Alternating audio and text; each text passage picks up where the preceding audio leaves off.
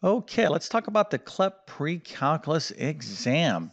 Now, because you're watching this video, I'm going to assume that you're interested in taking and even more interested in passing the CLEP pre-calculus exam. And that is an awesome goal because the CLEP program, I mean, it really is a unique uh, program that all students really should take advantage of because if you can pass these CLEP exams, you're going to get full college credit without having to take that course. That's going to save you time and money. And I really don't know of too many more important resources than time and money. So if you have taken pre calculus or you're taking pre calculus right now, it definitely behooves you to study and try to take this exam. But there is a lot to know in pre-calculus. And what I have here is a nice little practice problem that you should be able to do without too many uh, difficulties if you are fully prepared for the CLEP pre-calculus exam. But uh, before I cover this problem, of course, I'm going to give you an opportunity to solve it all on your own. Uh, let me quickly introduce myself. My name is John. I'm the founder of TC Math Academy. I'm also a middle and high school math teacher. I have been teaching math for decades. And over those years, I've constructed my Math Help program, which I uh, do a lot of work with uh, people on their particular math courses. I assist them in middle and high school mathematics, and I do a lot in test prep as well. Matter of fact, I have an outstanding CLEP pre-calculus test prep course. I'm going to leave the link to that in the description of this video. If you are trying to get ready for this uh, particular exam, definitely check out my course. I mean, there is a lot you need to know uh, to pass this uh, pass this particular exam. But if you can pass uh, this CLEP pre-calculus exam, you would be definitely ready to start taking calculus in college if that is one of your goals. All right, so let's go and take a look at this problem here. What I want you to do is to graph, okay, graph the interval uh, well, I'm just going to say it right here. Here is the interval. Here it is. I'm not going to even uh, describe it. But go ahead and write a uh, graph that represents this uh, interval. Okay, let me give you a, a, quick hint. It will be on a number line. Okay, so this question can kind of come in two different flavors. I could show you the graph and then I could give you the interval notation. So we're talking about interval notation. And this is kind of a step up, kind of a more advanced way to write intervals on the real number line than you do, like, let's say, like in basic algebra, uh, algebra 1 or algebra 2.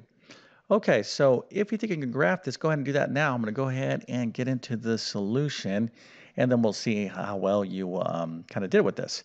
All right, so there's basically two ways you can uh, do this problem, right? It all depends on how you learn interval notation, but here is this interval right here, okay? So what we're talking about is the interval negative 2, okay, uh, uh, all numbers that are less than and equal to negative 2, okay, and uh, basically that's going towards negative infinity, all right? So the way we would graph this would be a closed circle at negative 2 and an arrow going towards negative infinity. This is all numbers uh, that are uh, less than or equal to negative 2 going, of course, to all this right here towards negative infinity.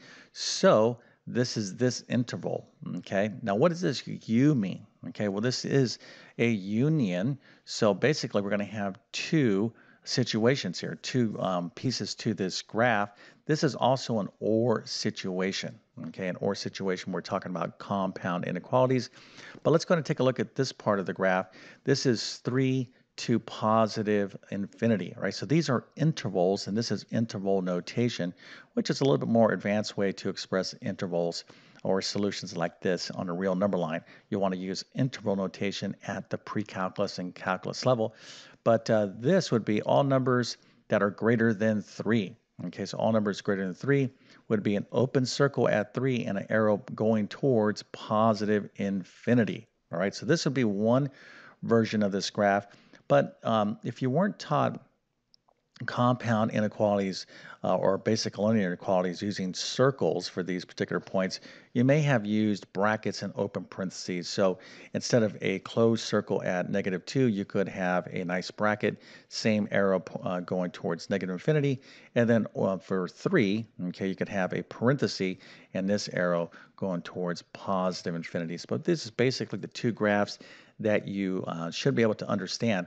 So another version of this problem would be I would give you this graph right here and I could say write the interval notation for that and of course this would be the answer. All right, so hopefully this was, wasn't that difficult of a problem, but this is something you absolutely need to know at the pre-calculus level, all right? Now, if you got this problem right, I certainly, you know, wouldn't say, oh, well, then you're totally ready to take this CLEP pre-calculus exam and ace it. You know, that's, you know, not the case, all right? And you'd want to go into this exam as prepared as you possibly can, right? You want to go in telling yourself, I'm going to try to get every single question right. Because if you have any kind of attitude that's less than that, like, well, I want to do the bare minimum just to pass, well, guess what? This this exam is going to be too difficult. All right, you're, if you have that attitude, you're probably going to like miss a passing score by one. Okay, so you want to try to like totally ace this exam. So there is a lot of material you need to know at the pre-calculus level. And I'd like to uh, help you along your journey to um, actually pass this so you can save yourself time and money.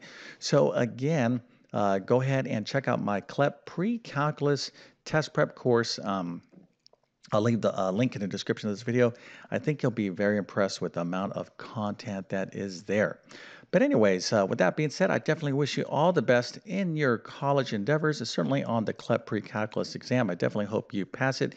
But again, you're going to have to put in the work and effort, but it'll be definitely worth it if you get that nice letter in the mail or that email saying, hey, you passed this thing. Now you'll be ready to go on to more exciting things like calculus. All right, so with that being said, I definitely wish you all the best in your mathematics adventures. Thank you for your time and have a great day.